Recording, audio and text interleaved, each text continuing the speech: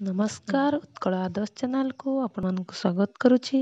ଆଜି ମୁଁ ଆପଣମାନଙ୍କ ପାଇଁ ନେଇ ଆସିଛି ଏକ ନୂତନ ବିଷୟ ଭାଷଣ ଜାତୀୟ ସଂହତି ଆସ ସେ ବିଷୟରେ ବର୍ତ୍ତମାନ ଆଲୋଚନା କରିବା।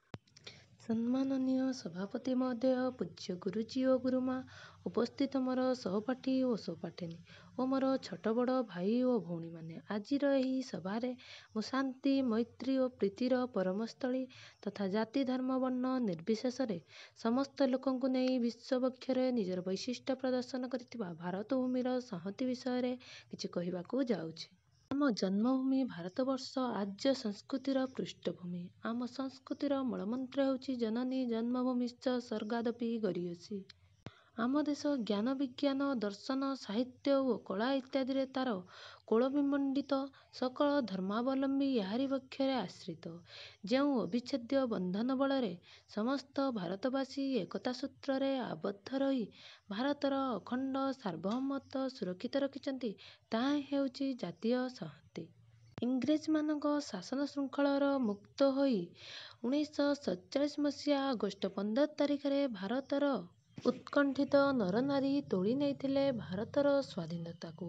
ଇଂରେଜମାନେ ଦେଶରୁ ବିଦାୟ ନେଇଥିଲେ ସତ କିନ୍ତୁ ସାମ୍ପ୍ରଦାୟିକତାର ବୀଜ ବପନ କରି ପାକିସ୍ତାନକୁ ସୃଷ୍ଟି କରିଦେଇଥିଲେ। ଏହିପରି ଭାବରେ ଭାଇ ଭାଇ ପରି ବାସ କରୁଥିବା ହିନ୍ଦୁ ମୁସଲମାନମାନଙ୍କ ମଧ୍ୟରେ ଦଙ୍ଗା ସୃଷ୍ଟି ହୋଇ ଦେଶର ଅଖଣ୍ଡତା ନଷ୍ଟ ହୋଇଯାଇଛି। ବର୍ତ୍ତମାନ ପିଲାମାନେ ତମେମାନେ କିପରି ଆମର ସୃଷ୍ଟି ହେଉଛି ଅଖଣ୍ଡତା ନଷ୍ଟ ହେଉଛି ଦଙ୍ଗା ହେଉଛି ତାର ସବୁ କାରଣ ଜାଣିପାରିଲ। ବର୍ତ୍ତମାନ କିପରି ତାର ନିରାକରଣ କରିବା କ'ଣ ବ୍ୟବସ୍ଥା ନେଲେ ଆମ ଦେଶରେ ସାମ୍ପ୍ରଦାୟିକତା ଦଙ୍ଗା ଦୂର ହୋଇ ଆମର ସଂହତି ରକ୍ଷା କରାଯାଇପାରିବ ସେ ବିଷୟରେ ବର୍ତ୍ତମାନ ଆଲୋଚନା କରିବା। ଏହିପରି ସ୍ୱାର୍ଥପରତା ନିରକ୍ଷରତା ଓ ସଂକୀର୍ଣ୍ଣ ମନୋଭାବ କାରଣରୁ ଭାରତର ଐକ୍ୟ କ୍ରମଶଃ ଦୁର୍ବଳ ହୋଇ ଜାତୀୟ ସଂହତି ଆଜି ଜୀର୍ଣ୍ଣଶୀର୍ଣ୍ଣ ଅବସ୍ଥାରେ ପଡ଼ି ରହିଛି। ଏଥିପ୍ରତି ପ୍ରତ୍ୟେକ ଭାଷାଭାଷୀ ଲୋକ ଦୃଷ୍ଟି ଦେଇ ଜାତୀୟ ସଂହତି କିପରି ରକ୍ଷା କରିପାରିବ ସେ ପ୍ରତି ସଚେତନ ହେବା ଆବଶ୍ୟକ।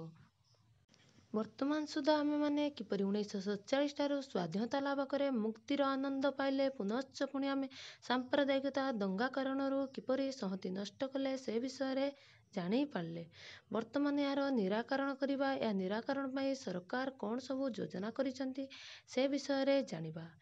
ଏହି କାରଣରୁ ଆକୁମାରୀ ହିମାଚଳ ପର୍ଯ୍ୟନ୍ତ ସମସ୍ତ ଭାରତୀୟଙ୍କୁ ଭାଷାସୂତ୍ରରେ ବାନ୍ଧି ରଖିବାର ଆଶା ଆଜି କ୍ଷୁର୍ଣ୍ଣ ହୋଇ ଜୀର୍ଣ୍ଣଶୀର୍ଣ୍ଣ ଅବସ୍ଥାରେ ପହଞ୍ଚି ଯାଇଅଛି।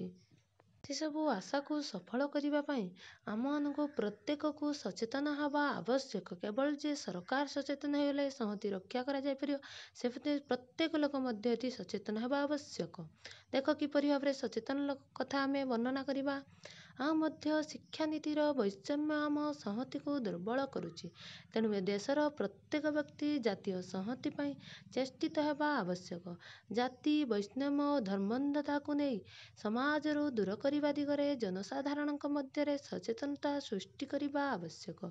ପାଠ୍ୟକ୍ରମରେ ଦେଶପ୍ରେମ ସମ୍ବନ୍ଧୀୟ ଲେଖା ମାଧ୍ୟମରେ ଛାତ୍ରଛାତ୍ରୀମାନଙ୍କ ହୃଦୟରେ ଜାତୀୟ ସଂହତି ସୃଷ୍ଟି କରିପାରିବା।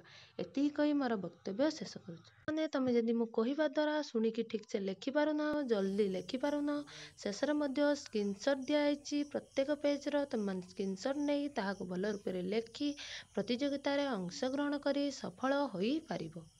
ତମମାନଙ୍କୁ ଯଦି ଭିଡ଼ିଓଟି ଭଲ ଲାଗିଛି ତମେ ଏହି ଭାଷଣ ଦ୍ୱାରା ସଫଳ ହୋଇପାରିବ ବୋଲି ଭାବୁଛ ତାହେଲେ ଚ୍ୟାନେଲ ସହିତ ଯୋଡ଼ି ରହିବା ପାଇଁ ଲାଇକ କରନ୍ତୁ ଓ ପ୍ରତ୍ୟେକ ଭାଷଣର ନୋଟିଫିକେସନ ପାଇବା ପାଇଁ ଚ୍ୟାନେଲଟିକୁ ସବସ୍କ୍ରାଇବ କରିଦିଅନ୍ତୁ ଯାହାଦ୍ୱାରା ଆମର ପ୍ରଥମ ପ୍ରତ୍ୟେକ ଭିଡ଼ିଓ ତମ ପାଖରେ ପ୍ରଥମେ ଯାଇ ପହଞ୍ଚି ପାରିବ। ଆଶା କରୁଛି ଆପଣମାନଙ୍କୁ ଭିଡ଼ିଓଟି ଭଲ ଲାଗିଥିବ ଯଦି ଭଲ ଲାଗିଛି ସେୟାର କରନ୍ତୁ ଲାଇକ କରନ୍ତୁ ଓ ସମସ୍ତଙ୍କୁ ଜାତୀୟ ସଂହତି ବିଷୟରେ ସଚେତନ